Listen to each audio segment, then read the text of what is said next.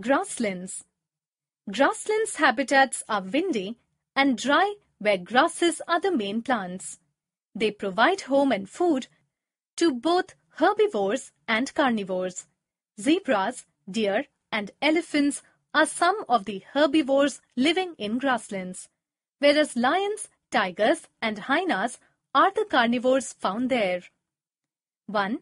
Plant life some adaptations in grasses to survive in these conditions are A. Flexible stalks so that they stand and do not break in windy conditions. B. Strong roots to anchor grass. C. Small leaves to reduce loss of water. Trees growing in grasslands like acacia are also small with small leaves and roots that go deep into the soil in search of water.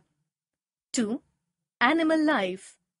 Lions live in forests and grasslands and are strong animals that can hunt and kill animals like deer.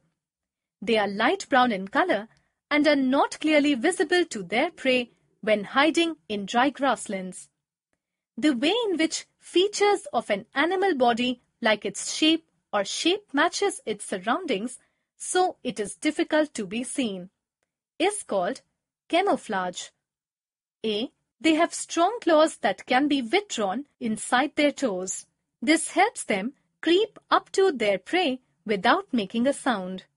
B. They have eyes in front of their faces. This helps them to have a correct idea about the location of their prey.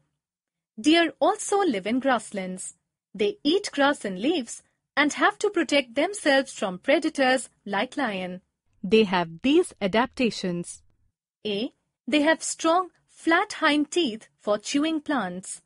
B. They have long ears to hear any movement of predators. C. They have eyes on the sides of the head. It enables them to look in all directions for danger.